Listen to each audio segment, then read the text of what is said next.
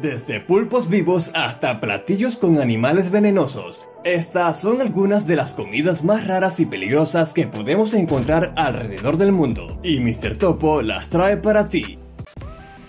El sanaji es un plato típico coreano que consiste en la preparación de un pulpo crudo. Este se sirve recién sacado del agua moviéndose aún en el plato. La preparación es bastante sencilla. Solo se corta en trozos pequeños y se condimenta con ajonjolí, algunas especies más y aceite de sésamo. Es una delicia para los amantes de los mariscos, pero también presenta riesgos de ahogamiento debido a que el pulpo puede pegarse en la garganta. De hecho, varias personas han muerto al tratar de consumir este peculiar platillo. Así que si alguna vez te atreves a probar el sanaji, recuerda tener precaución al disfrutarlo. Los huesos de murciélagos son una comida tradicional en varias culturas, especialmente en Asia y algunas partes de África. El consumo de huesos de murciélagos puede presentar riesgo para la salud debido a la posibilidad de contraer enfermedades transmitidas por animales. Pero, ¿qué tanto? Ni que se fuera a provocar una pandemia, ¿verdad? Además, el consumo de estos animales puede tener un impacto negativo en la población de murciélagos y en el medio ambiente debido a la caza y el comercio ilegal. La tarántula crujiente es un plato típico de algunas regiones de Camboya. Se sirve frita o a la parrilla y se cocina con especias. La preparación de la tarántula crujiente es similar a la de cualquier otro plato frito. Se limpian y se fríen en aceite caliente hasta que estén crujientes. A continuación se mezclan con especias y se sirven como aperitivo o plato principal. Es una delicia para algunos, pero también presenta algunos riesgos debido al alto contenido de veneno. Apuesto a que prefieres unas papas fritas en vez de unas patas fritas. ¿Por qué sus animales? ¿Por qué mejor no dijo mariposas? El fugu es una delicia culinaria de Japón, donde el ingrediente principal es un pez globo. La preparación y cocción de este platillo es un proceso muy delicado y requiere una gran experiencia para evitar la liberación del veneno. Así es, estos amiguitos se encuentran entre los vertebrados más venenosos del mundo, y solo chefs especialmente capacitados y con licencia son autorizados para preparar y servir fugu en Japón. Por razones obvias, el consumo de esta comida riesgos para quien lo consume. El veneno puede causar gran daño al sistema nervioso y en el peor de los casos la muerte. Por lo menos en Navidad sé que comen pollo KFC en Japón. Y si no sabes de esto, aquí te dejo mi video de esta curiosa tradición. Los escamoles son una exquisitez culinaria típica de México. Son larvas de hormigas de la especie Liometopum apiculatum. Perdón, esa era la hormiga atómica. Estas hormigas se encuentran en la raíz de algunas plantas. Los escamoles son ricos en proteínas, hierro y calcio, pero su consumo es limitado debido a su escasez y precio elevado. Se pueden cocinar de diferentes maneras, como fritas, a la parrilla, en salsas y en guisos. Estos se suelen servir como acompañante o relleno en platillos tradicionales, como los tacos de escamoles o los huitlacoche. Además, lo puedes encontrar en algunos restaurantes especializados en México.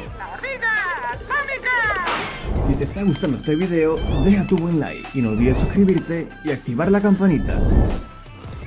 El casu marzu es un queso tradicional de Cerdeña, elaborado con leche de oveja y criados con gusanos, y no precisamente estos gusanos. El proceso de elaboración del casu marzu incluye la adición de gusanos del género Piopila casei para iniciar la fermentación. Durante el proceso de maduración, los gusanos se alimentan de la lactosa y producen enzimas que dan al queso su característico sabor y textura. A pesar de ser considerado una exquisitez para los locales, el consumo de este queso presenta riesgos para la salud debido a la posibilidad de contraer enfermedades transmitidas por animales. Definitivamente nosotros los humanos no aprendemos, por lo que su producción y comercio está prohibido por las autoridades sanitarias europeas debido a la falta de normas y controles en su elaboración.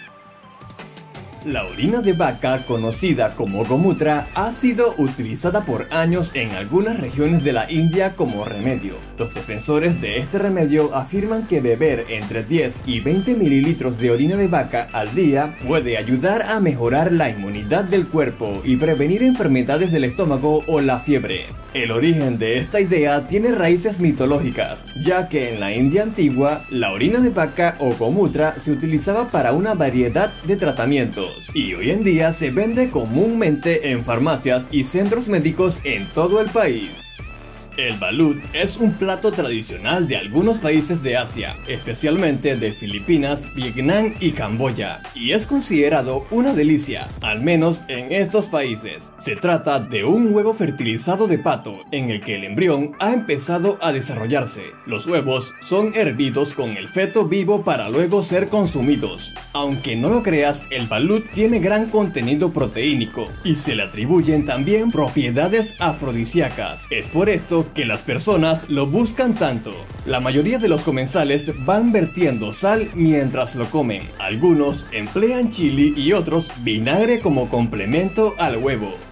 El hakar es un plato popular islandés elaborado a partir de la carne de tiburón gris. Se ha consumido en Islandia desde la época vikinga, quienes adoraban los sabores fuertes y marcados de la carne de tiburón, se cuenta también que los cazaban con el fin de eliminar peligros del mar y aprovechar la grasa de los animales para alimentarse y otros fines. La preparación del jácar es sencilla. La carne se limpia y se coloca en una cava de tierra para que se fermente y se seque durante 3 o 4 meses.